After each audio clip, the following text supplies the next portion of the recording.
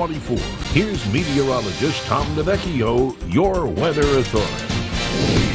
It's 611. Good morning to you as you're checking these out on our U.S. netting weather cam from the top of the Renaissance Center. Looking west uh, out towards St. Peter's, we're off to a nice start to the day.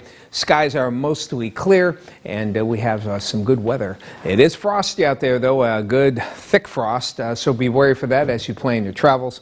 Uh, we have a 24 in Summit, 25 in Harbor Creek, 27 out toward Lawrence Park. Good to hear from you there. Venango Township at 23, 24 French Creek. Liz has 25 in Corry. At the Borough, it is 23. We have 24 in Saegertown and Meadville. Ed Westmead, a thick frost and 25 out his way. Chandler's Valley 22 and Saybrook Gary has 25. High pressure and control for the day. Lots of sunshine expected. Upper level wave will be tracking across the Great Lakes uh, for tonight, and that uh, will spread some showers and maybe some wet snow in the region for tomorrow, and then or for tonight, and then into tomorrow. Uh, the cold front moves on by. Strong northerly flow won't give Arctic air, but it will give cold enough air. We'll see some snow showers, and uh, could be some steady hits of snow. But with temperatures uh, above freezing, not much accumulation expected here in Erie.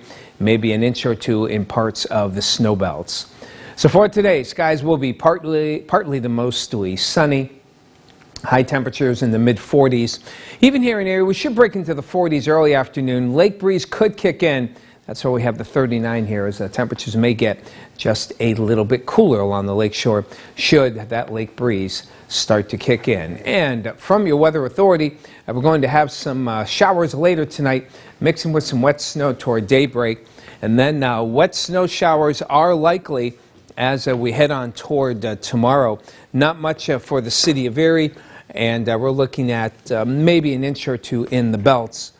As we head towards Saturday, nice and dry, cold conditions, temperatures in the mid 30s, and then back up into the 50s. Quick hit members, set your clocks ahead Saturday night as you head on into Sunday. You lose that hour of sleep. Temperatures will be in the, mid 50s.